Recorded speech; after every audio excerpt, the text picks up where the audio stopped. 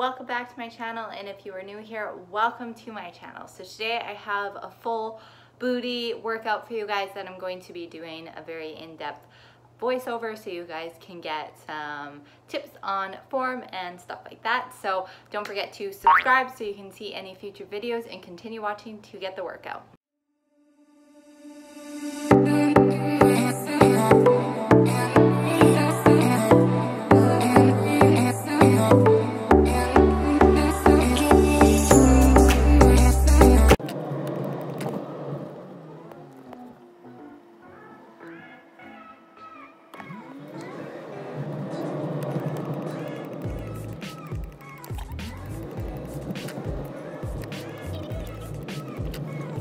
We just made it to the gym. You can't see it, but it's behind me. Um, there are so many vehicles here.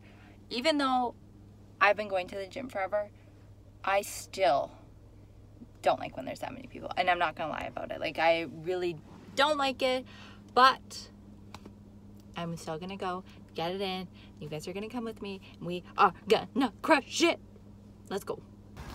I forgot to record it, but I did end up doing a warm up on the treadmill for five minutes on an incline of six just to get my body a little bit warmed up before we got into it.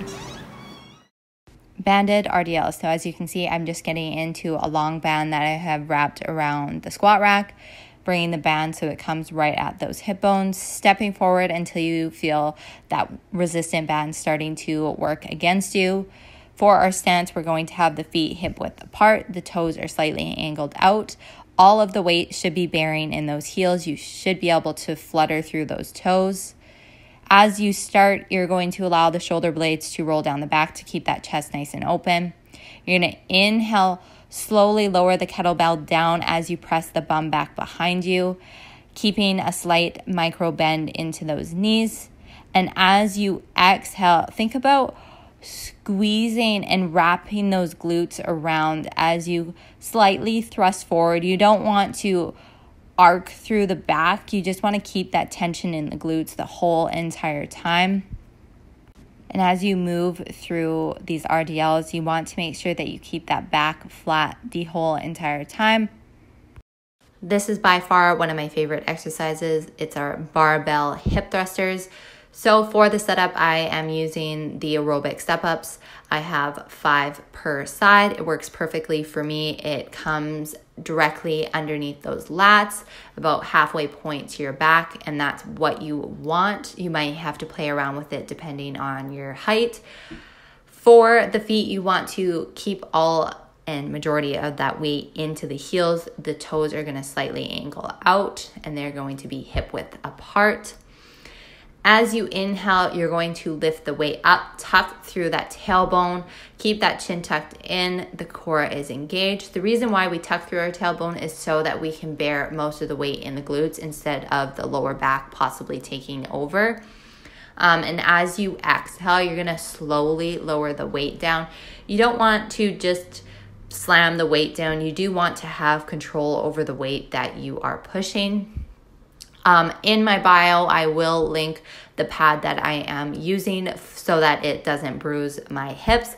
That is also key to making sure that you can push more weight is having that pad. Elevated Bulgarian split squats. So for this, you are going to need to have a little bit of height for that front foot and a bench behind you. And I grabbed a kettlebell for the weight. But for the setup, it's super important. You'll kind of see me doing it here. So I put the leading foot that I'm going to use on the elevation, having the weight planted in my heel. And then I'm going to step back and make sure that knee is allowing my back foot to be completely planted on the top of the bench. And since it wasn't, I moved it up a little bit. You can also play around with how you want that back foot to be planted on the bench, whether you want the top of the foot on there or maybe tucking through the toes. This kind of comes down to a personal preference. I found honestly, this is what works best for me, but it might not work best for you. For the setup and getting ready into the position, you're gonna roll the shoulder blades down the back and you're gonna take a nice big breath in as you come down. Slightly hinge at the hips. You don't want the chest nice and upright. It puts more tension on that quad rather than when you hinge at the hips. It allows the glutes to take over a little bit more as long as you keep that weight in the heel of the front foot. Um, and as you exhale that's when you're gonna come up. The exhale I find is the most important part because you're gonna slowly come up and you're gonna think about wrapping those glutes around as you keep that tension in that front heel. Last thing, as always, you are going to keep that core super tight during this whole movement. Pretty much anything exercise, you want a nice tight core. Elevated goblet squat. So you're gonna grab a free weight, placing the heels onto that free weight. The feet are going to be hip width apart, the toes are slightly pointed outwards. You are going to make sure that you tuck through that tailbone before you do anything. I don't want you to push that bum back. So tuck through the tailbone, roll the shoulder blades down the back, bring a kettlebell or dumbbell close into your chest, and you're gonna inhale, sit that bum down, and as you exhale, really think about squeezing the glutes as you come up, keeping that core super tight. Again, you don't wanna push the bum back you're imagining it as if you're pulling a string from the top of your head all the way down. You want to have that nice straight line. Lots of people say to push the bum back, but you only do that when you're completing a deadlift. Cable glute pull throughs. So for this, obviously you are going to come to a cable, you're going to grab a rope attachment, you're going to take one step forward.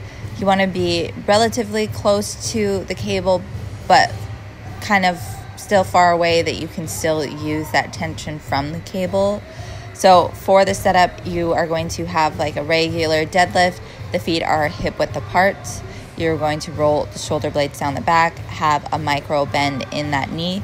And then as you inhale, you're going to press the bum back, lower the chest down, looking directly down. And then as you exhale, you're going to thrust forward think about going relatively slow so you can squeeze only and solely through those glutes instead of the hamstrings starting to take over. Um, but as always, keep that core tight and keep the weight in the heels.